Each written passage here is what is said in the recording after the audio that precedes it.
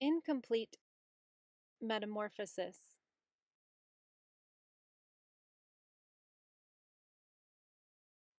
A life cycle that has three stages of changes an insect goes through.